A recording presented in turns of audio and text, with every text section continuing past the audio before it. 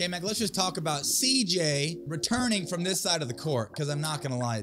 In this particular match that B Long and I balled out, um, we uh, were able to uh, score a decent amount of points with CJ over on the left side returning.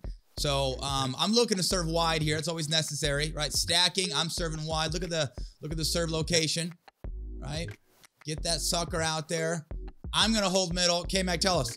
So why why is it? I mean, and Dekel and I this year have been kind of working on the same thing. If I'm uh, if I'm on the right and B Long is on the left, and we're and we're stacking here, I'm serving on the left. Sorry, and I pull CJ out of position. Why is it necessary for me to be taking that forehand in the middle? I guess if if it comes to my outside foot. Obviously, if it comes to my inside foot, we all know that Brendon's going to take that. Um, but why is it a good idea for me to be taking that forehand? Well, I think, you know, court positioning and also strengths and weaknesses. I think of the two pairings, I think you guys would prefer with doing that shake and the bake, you to be using your Ferrari forehand and Long to be using his big frame as the poacher. Um, if you were to kind of slide out too far to cover your your area, then Long will be driving, but now it's going to be your backhand in the middle. So it allows it to be your forehand, which is probably the better drive of the two of you, but also uh, Brendon's forehand in the middle, where he can cover a lot more territory, be much more dangerous as the poacher in that in that setting. Yep, and I'm I'm kind of daring CJ to go line on the return. as I serve there, I'm I'm cheating. I'm staying middle. Um, if if he wants to go line, that's fine. I can I can totally get there. But as we see there, uh, goes to my outside foot, which is my right foot. I'm banging, find that hip. B-Long comes in to close and clean house, and the man is pumped. And one other thing, Tyson, I was just going to point yep. out, um, as Long is volleying, right? He's in that quick, uh, fast hand battle. You don't rush up and fill in the hole, right? You're waiting. You're kind of in that modified I formation, waiting for the point to slow down. You can fill into either side if you need to.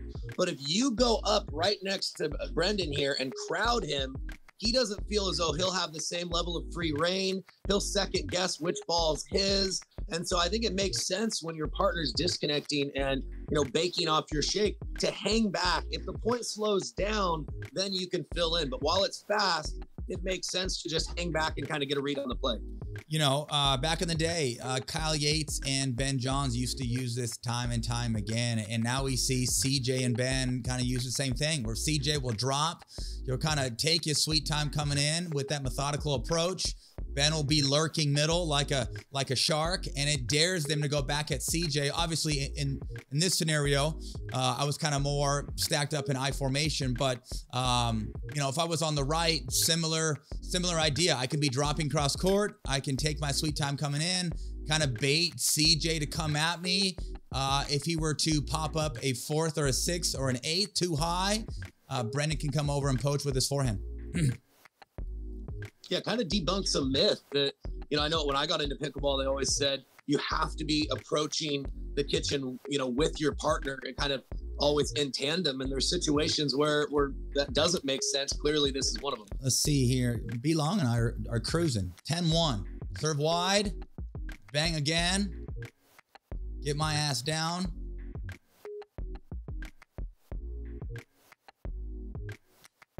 Okay, got ourselves a nice little dinking point here. All right, all right. Let's let's go back to that real quick. So moving the ball around here. Um, you know, something I need to work on, in which uh, I probably have hit this shot two or three times in my life, is B long. It hits this nice little, nice little knifing dink. Dekel's got his tip down. K-Mac, when that tip is down, uh, what direction do we see that player dinking? Straight ahead. Okay. Anytime yeah, I see ahead, that, right I need to do what off of that stinking ball, dang it. Jump that kitchen and show Jump some athleticism. Kitchen, Get moving. Okay. So CJ pulls right. CJ pulls me wide. I'm not gonna lie. Dekel wasn't wasn't covering line.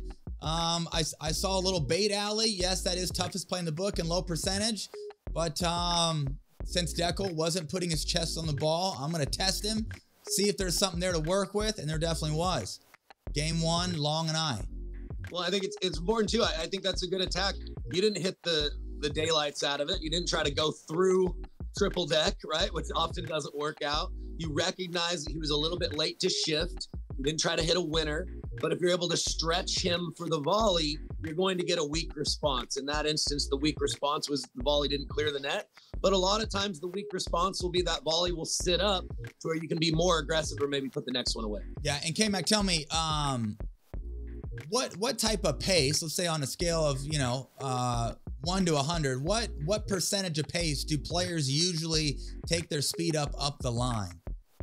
I say players usually hit it about, you know, 85, 90%, you know, somewhere in that range. And I would say once we get in more that 60%, 70%, that's probably more of the pace that we need to realistically have that ball go in. When we start hitting it too hard, it's just not easy to keep the ball in the court. Right. So so if I was speeding middle, if I was speeding through deck, or if I was speeding at that right hip of his, um, just like what K Mac had mentioned there, I'm probably going to shoot for like 70 to 90% as far as pace. But when I'm guiding and directing that speed up line, uh, I'm really taking pace off, uh, thinking good location, uh, off pace, well placed, and I'm looking for a cleanup ball from there. Uh, K-Mac, as we know, if Dekel doesn't, uh, let's say if Dekel, you know, makes somewhat clean contact, but he's not early with that counter, where should I be sitting with my recounter? Most counters come in a straight line. So wherever you speed it up, you want to stay in the same location. Even if it is, you know, you're making an educated guess and you're not coming back to your normal ready position, more often than not, the ball will come right back to the same spot. So you want to be waiting in the same position. Like that. Now, take a look here you know, if I was to take this ball middle, um, that'd be that'd be a good time for Brendon to slide with me. Brendon can be recountering with his forehand. But if I go at Dekel's inside hip or maybe Dekel's belly button, I'm looking to speed forehand, and then it's coming right back to my inside foot. So I'm to sit backhand, the old speed forehand, and then clean backhand.